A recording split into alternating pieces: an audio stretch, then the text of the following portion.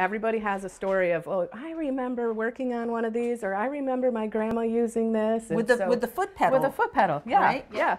There's plenty to see at the Colony House in Palmer. This is the master bedroom, and pink was the color of the day for master bedrooms. It's filled with treasures It all works.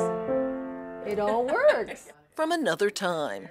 This home belonged to the Beylund family. So that's Oscar and Irene here. They were one of about 200 families who came to the state in 1935. Just good farm people. It was part of a New Deal government agriculture program designed to give Depression era families from the upper Midwest a new start in the Mat-Su Valley. On arrival in their new land, colonists drew numbers to see which 40 acre plot of land would be theirs. And they would see, oh, there's my 40 acres. And they would go up there and go, yes or no. Most of them went yes. Jerry Keeling's parents settled their land that way. That's my mom, dad, and my sister Jean. The daughter of original colonists says life in their new home was often hard. For the parents, big time.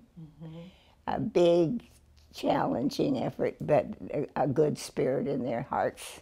Still, not all of them succeeded. If your definition of success is did 100% of these people stay and farm, that would be no. Um, did the people have an adventure? Yes. Keeling says those adventures are what made growing up here so special. The children in general liked it a whole lot.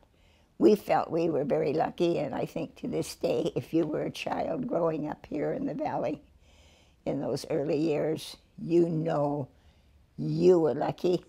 Today, people can feel lucky that after years of hard work, the Colony House has been completely restored. It's a piece of living history that anyone can visit to learn more about Alaska's past. Telling Alaska's story, I'm Lauren Maxwell.